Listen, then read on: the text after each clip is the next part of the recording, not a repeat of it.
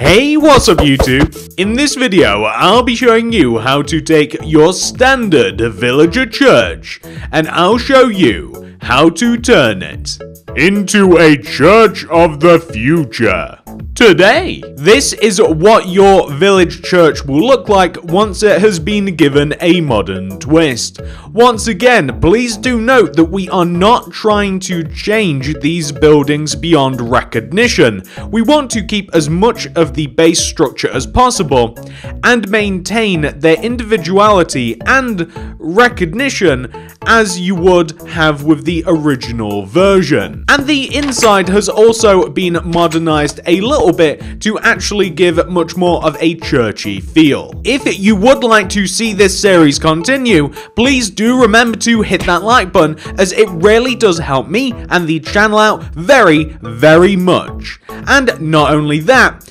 if you would like to see another transformation, leave a comment down below. As you can see, we're getting to the point where we have modernized a lot of the village. I want to know what's next. And of course, if you do want to transform any other structures, check out the card system and the description below for the Modern Village playlist. It looks exactly like what you can see on screen. But without any further ado, ladies and gents, let's get started. Before we begin, I can tell you that to transform the church, we will require every single one of the materials that you can see in my hotbar and inventory right now. Please make sure you have access to every single one of these as we will need every single one. And not only that, but we will also need a village church. You should be able to find one of these. They are in almost every single village and they are extremely easy to identify.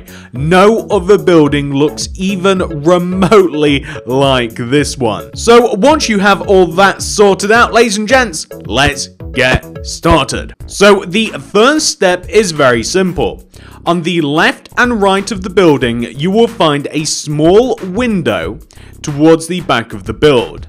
I want you to destroy below that window, and then towards the front of the build, I want you to destroy a double wide space in front of the window. And I want you to do the same on both sides. So on this opposite side below, and then coming towards the front, a double wide gap like this. On the back of the build, you will also find a single window towards the bottom. I want you to make that bigger by destroying underneath. Grab your blue stained glass pane and replace all of the window panes with blue glass. This also includes all of the empty spaces that you have now created, making the windows larger. You will find windows on almost every single side of the church, including the back and the front. So do make sure that you replace all of them with the blue glass.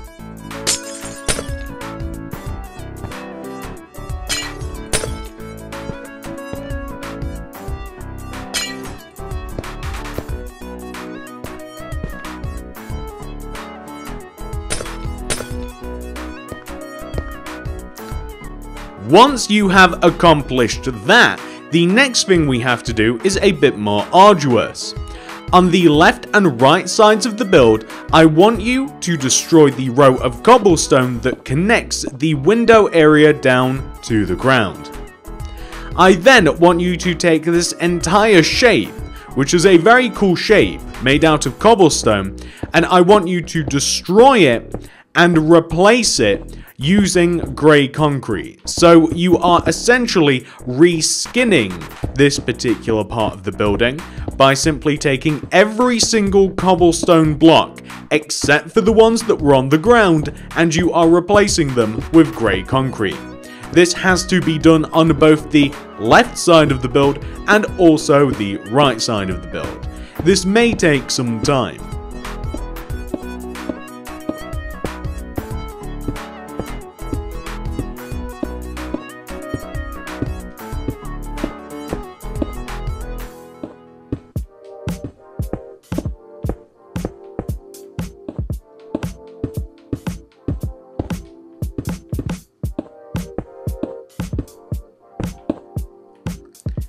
Each side should look exactly like this, and once you have done one, flip over to the other side to do the same. I'm just going to remind you to delete the first initial row of cobblestone down at the bottom of the church, and then you can proceed to reskin the cobblestone into grey concrete.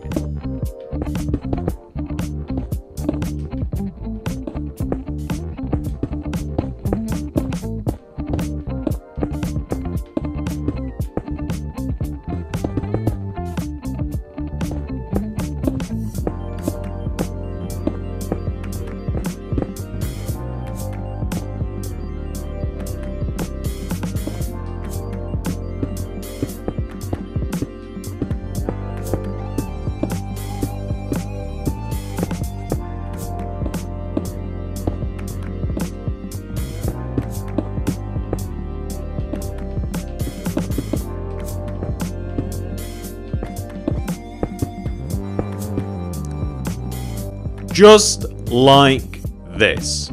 Now, once you have completed this part of the build, the next part of the build is quite simple. We want to now take the back part of the church and we want to destroy all of the cobblestone on the back part of the church and we want to replace that cobblestone with white concrete. Very similar to what we have just done on both sides of the build, except we are using white concrete instead of the cobblestone, like this.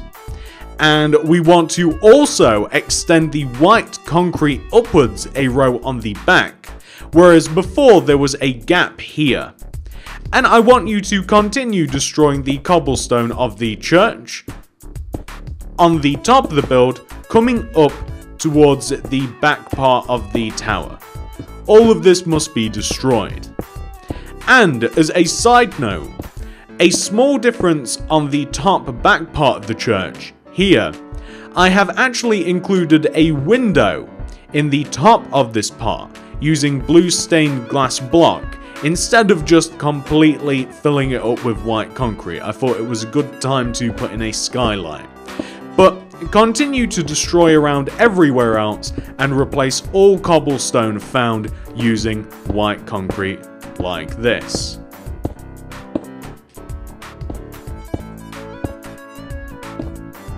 And also, underneath the window you might want to destroy that too, although we might have to change that later. And do be careful that blocks on the side are also destroyed and replaced. The end result should look like this.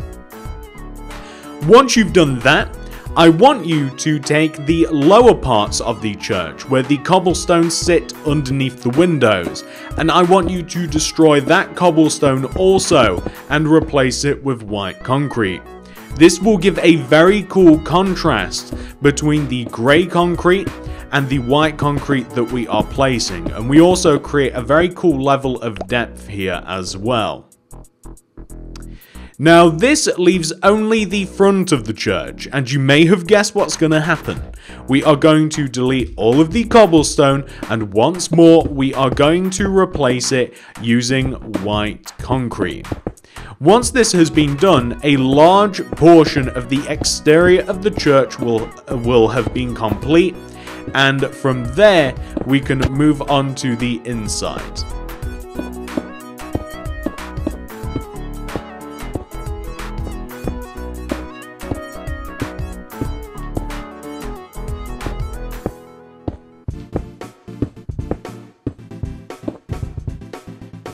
This is what the end result should be. The next thing I want you to do is replace the cobblestone stairs at the base of the build using a quartz stairs. We're going to place a white concrete left and right of the stair. On top of the white concrete place two glass pane coming upwards from each. With a row of quartz slab coming across the top to create a doorway. We're now going to work our way inside of the church, and we are going to destroy the central strip of cobblestone that still remains, and all cobblestone that we can find in the lower part of the church. Like this. So it's nice and empty. I'm then going to place a strip of grey concrete that leads from the entrance all the way to the back part of the church. I'm also going to place a pressure plate behind this quartz stair here towards the front of the church. And once inside, I'm going to place a backwards, uh, a once inside, I'm going to place an, uh, an iron door behind the pressure plate that will allow us to open the actual door itself. And as close as possible to that door, place an additional iron pressure plate so that we can walk in and out nice and freely. Once you have made it so that we can walk in and out, we have to create a small platform at the back of the church. The small platform is only three blocks long. Underneath the window at the back of the church, place three grey concrete. One, two, three.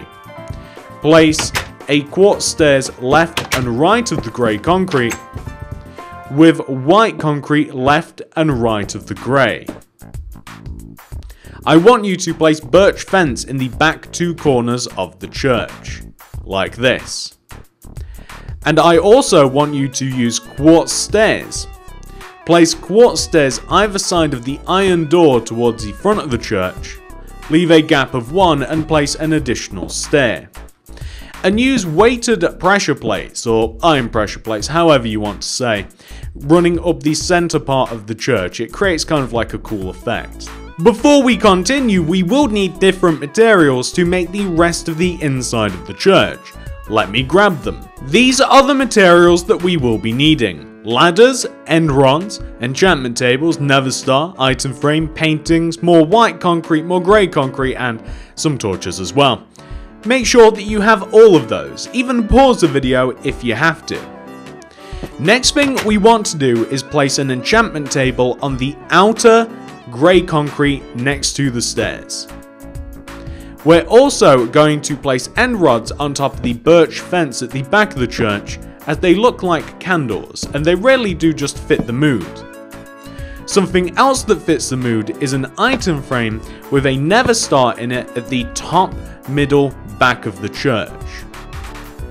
What we also have to do is we have to remove the cobblestone roof still present inside of the church. So once that has been removed, we want to replace it with either white concrete or perhaps grey concrete. We only have to come as far as the actual cobblestone did. Or maybe we'll even come one row further here, all the way up to where the lectern is, which is what uh, the enchantment table is representing.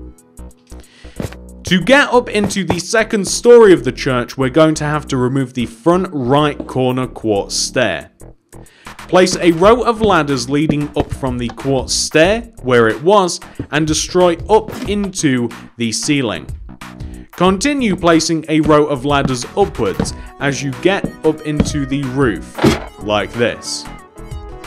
I'm going to destroy the cobblestone that is right at the top of the building and I'll replace it with grey concrete, just as it contrasts the lower floor. The lower floor's white, I figure some grey concrete might look uh, quite good. When it comes to this small room here, we're going to use some more different materials. Stuff like this, bed, end chest, paintings, item frames, torches, shulker boxes, stuff like this. If you need to, pause the video. So in here, I'm simply going to place a bed. I'm also going to place some storage in the form of shulker boxes just around the bed. Um, I'm also going to place a little bit of light on the wall in the form of a torch. And I'm also going to place a painting on the wall. So I think you can place no, you can't place paintings next to shulker boxes. I'm specifically looking for the white one that has the figure of a man in it. So, once you've decorated this room a little bit, you don't even have to bother with this point if you don't want to. All I'm going to do is on the roof, I'm going to place an end chest right on the roof, just in the middle towards the front, as it's a nice little easter egg for anybody that might want to actually climb up the church.